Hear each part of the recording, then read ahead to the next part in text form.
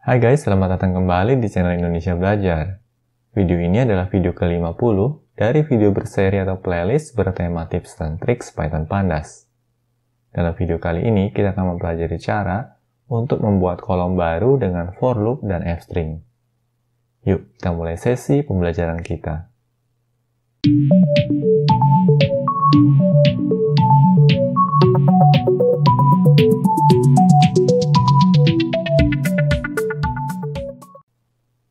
Oh ya guys, sekadar mengingatkan, bagi kalian yang belum subscribe di channel Indonesia Belajar ini, pastikan kalian untuk subscribe dan aktifkan juga tombol loncengnya.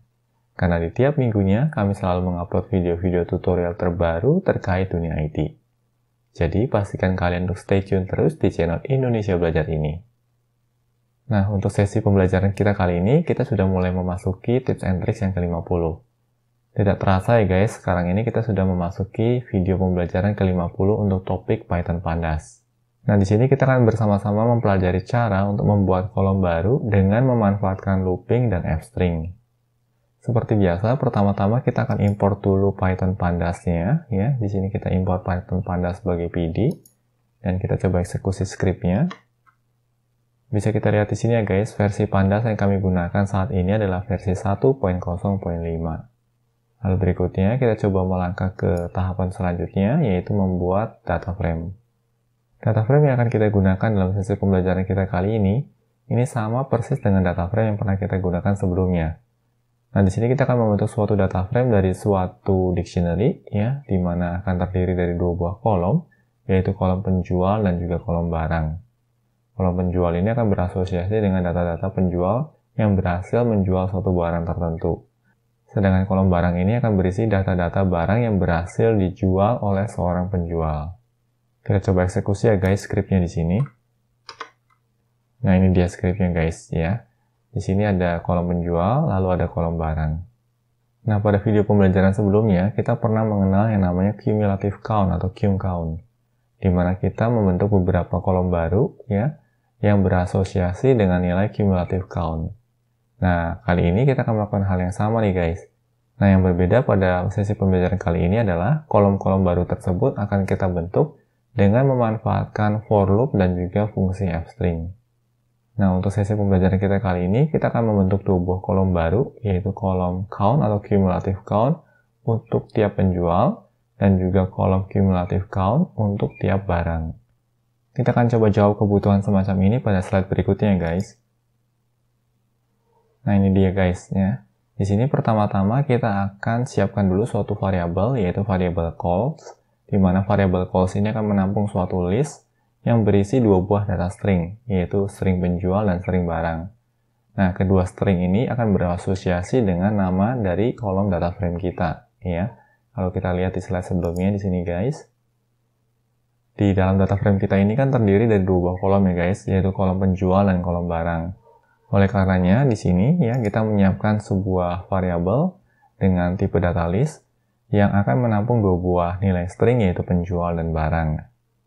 Hal berikutnya, ya list ini akan kita masukkan ke dalam suatu for loop ya, for call in calls ya, di mana dalam iterasi ini kita melakukan suatu mekanisme grouping ya. Di sini di f.group by call ya, artinya kita akan melakukan pengelompokan berdasarkan nilai call-nya. Nah, di sini kita tahu ya guys, dalam iterasi pertama, nilai call-nya akan bernilai string penjual. Oke, jadi pertama-tama kita group by dulu berdasarkan penjual, lalu kita cum count, dari mana nilai cum count ini akan kita plus 1, dan hasilnya akan kita tampung ke dalam suatu kolom baru. Nah, kolom barunya ini akan kita bentuk dengan memanfaatkan f-string, di mana labelnya adalah count underscore tiap underscore lalu diikuti dengan nilai call-nya, ya. Dan kita tahu ya, dalam looping pertama nilai call-nya akan berisi penjual. Atau dengan kata lain, pada looping pertama kita akan membentuk suatu kolom baru dengan nama atau dengan label count tiap penjual. Dan selanjutnya, ya pada iterasi kedua, ya nilai call ini akan berisi barang. Oke, nah pada iterasi kedua berarti di F-nya akan kita grouping berdasarkan barang, lalu kita kenakan cum count plus 1, dan hasil cumulative count ini akan kita tampung ke dalam suatu kolom baru dengan nama count underscore tiap underscore barang. Karena nilai variabel call pada iterasi kedua ini berupa string dengan nilai barang. Oke, kita coba eksekusi ya guys scriptnya di sini. Nah, ini dia guys hasilnya. Bisa kita lihat di sini ya, kolom pertama yang terbentuk adalah count tiap penjual dan kolom kedua yang terbentuk adalah count tiap barang. Nah, bagaimana guys terkait mekanisme pemanfaatan looping dan juga f-string untuk membentuk kolom baru pada suatu panas data frame? Harapannya bisa dipahami ya guys. Demikian tips yang ke-50 di mana kita belajar untuk membuat kolom baru dengan for loop dan f-string. Semoga tips ini dapat bermanfaat dalam meningkatkan efektivitas dan efisiensi kita sewaktu bekerja dengan Python Pandas. Pastikan juga untuk terus mengikuti tips dan trik lainnya di channel ini. Bila mana ada pertanyaan ataupun masukan terkait materi yang disampaikan dalam video pembelajaran ini, kalian dapat menuliskannya pada kolom komentar di bawah ini. Kami akan selalu berusaha untuk menanggapi setiap pertanyaan dan masukan yang kalian sampaikan. Oke guys, semoga video ini bermanfaat bagi kita semua. Jangan lupa untuk komen, like, share, dan subscribe tentunya karena ini akan menjadi motivasi bagi kami untuk terus menghasilkan materi-materi pembelajaran berkualitas lainnya. Salam Indonesia Belajar, banyak belajar biar bisa bantu banyak orang.